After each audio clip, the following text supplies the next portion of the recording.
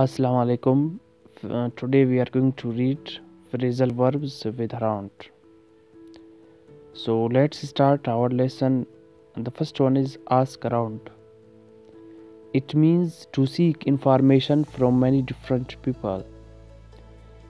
Example He was asking around if someone had seen his dog.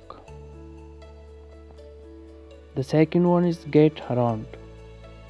It means to travel to a lot of places. Example He has visited three countries this year. He is getting around. Third one is run around means to be very busy. Example I am so tired I have been running around all morning.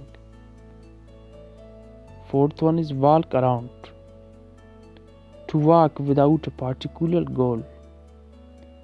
Example We were walking around 4 hours.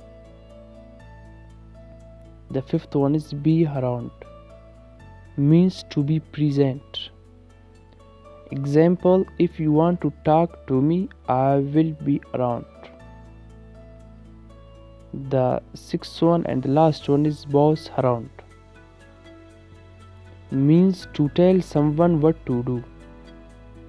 Example He has been bossing around all morning. So today we learned uh, phrasal verbs with around. Next uh, video will be uh, regarding uh, spoken English.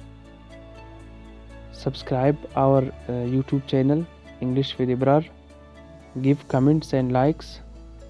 Thank you uh, for watching our video.